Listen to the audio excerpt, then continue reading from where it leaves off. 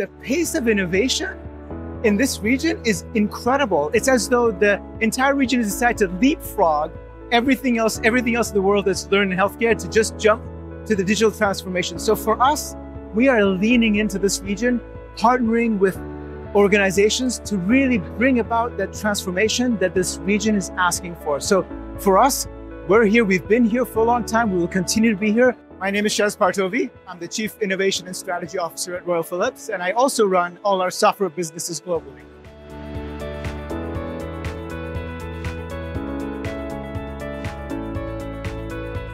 Now, Philips's goal is to positively impact the lives of two and a half billion people every year by 2030, of which 400 million should be underserved communities. So actually, we focus a lot on improving lives of people and particularly in underserved areas.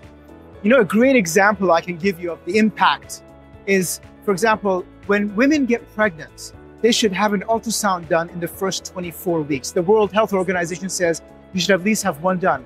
But it's hard to get ultrasound training everywhere in the world.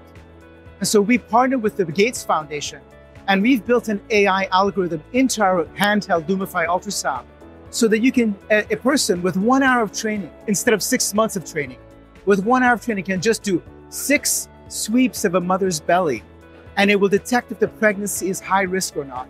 So actually, I think we're really focused on having a positive impact on people. And that is an example. Our AI driven ultrasound in Lumify is an example of the way in which we pride ourselves and how we can positively impact the lives of people everywhere.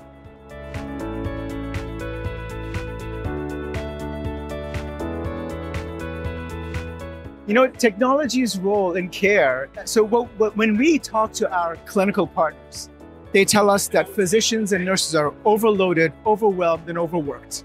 That you have more digital data, less people to do the work, and patients aren't getting, let's say, the care they want in a timely manner in some parts of the world. So, where we see technology going is to be able to make the workflow easier for physicians and nurses to do the work they do in a simpler way what we hear from customers is not just about higher resolution images, but more about ease of doing the work of caring for people and also to be able to do the care remotely to improve access to care. So where we see technology going in 24 and beyond is improving access to care through digital transformation and remote connectivity, which we're highly focused on, like our TeleICU solution we've been doing for 20 years.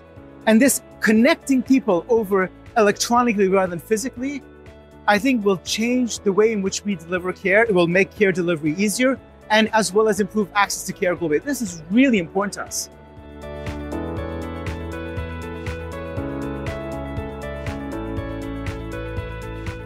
Now, you know, one of the things I love about Philips is that we have this idea what we call co-creation.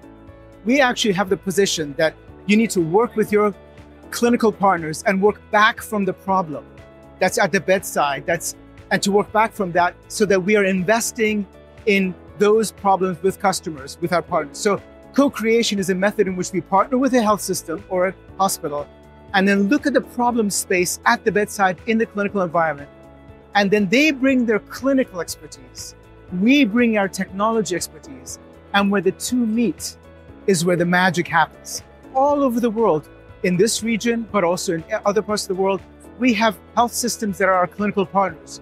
We have government organizations that are our partners so that where we invest our energy, it's in actually problems that solve clinical issues that improve patient care, whether in the home or in the hospital. So co-creation is the way in which Philips solves problems with customers.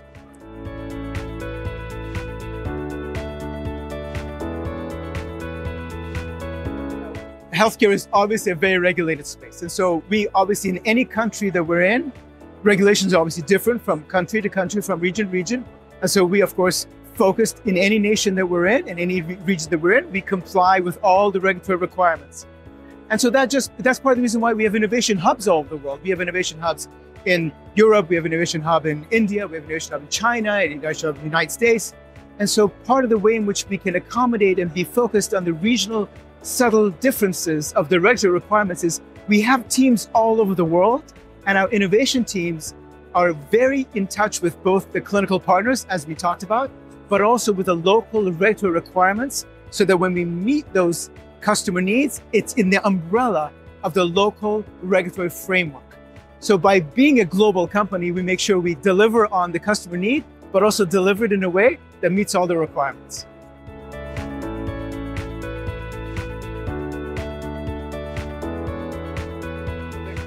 Philips has had a DNA of innovation, a heritage of excellence in innovation for years. I mean, for a 133 year old company, innovation in you, it's in our DNA. So, one of the things that makes it really able to build that culture is the people at Philips, the talent. You know, the people at Philips are those that come to work and are not satisfied with status quo. There are folks that ask the question, why can't it be better? So I would say really what the culture of innovation at Philips is, it's its people. It's the teams, the employees that bring this hunger and thirst for not looking at how things are, but looking at how things can be. I'll give you a really specific example. Okay, so you know Philips is known for lighting. I mean, that DNA is known. But did you know that that same technology that we used for compact disc, for laser beam that read the compact disc, we're using that same laser beam technology to read the, a microscope slide of pathology. So this idea of using that same technology that was used for music and to innovate and say, because the problem was to make digital pathology, it was very hard to get high resolution. But the team said, what else can we do? How can we advance this? And that team was not satisfied with just saying digital pathology is hard, but then applied the light, the laser beam light from compact disc to reading a laser uh, they're reading the slide of a pathologist to create digital pathology. This is the kind of team members that are Philips. They're just hungry for innovating, to solving problems. I would say that in summary, the culture is we invest in customer problems, not in our own selves. We invest in what the customer tells us is the challenge they want to solve. That's how the culture of innovation always is focusing on moving the needle forward. It's because we focus on the customer's problems and we have people that are asking why not. That's what makes it different.